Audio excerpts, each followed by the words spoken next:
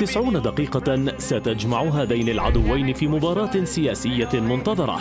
الحكم فيها هو جمهور الناخبين والأهداف التي ستحرز ربما لن يتم تعويضها. مناظرة رئاسية مرتقبة في الولايات المتحدة وربما في العالم بأسره بين المجرم المدان والمجنون الخرف كما يحلو لكل منهما وصف الآخر. استعدادا للانتخابات المقبلة للجلوس على كرسي البيت الأبيض.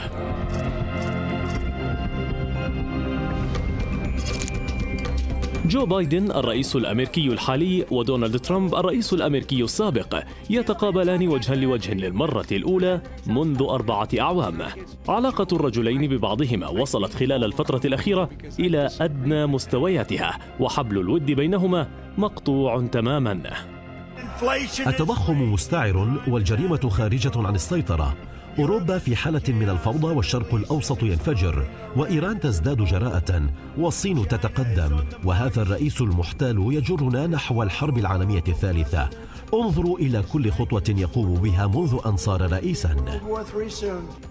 عداوات واتهامات واستخفاف واستهزاء بايدن وصف للمرة الأولى سلفه ترامب بأنه مجرم مدان ووصفه ترامب بأنه يوقع على قرارات للإتجار بالبشر لكن كيف يخططان لإقناع الجماهير بالتصويت لهما؟ خلال المناظرة سيدافع ترامب عن نفسه بالتأكيد فيما يتعلق بإدانته ب 34 تهمة جنائية وسيحاول إظهار براءته أما بايدن فسينفي الاتهامات التي تشكك في قدراته العقلية ومستويات تركيزه وصحته بشكل عام.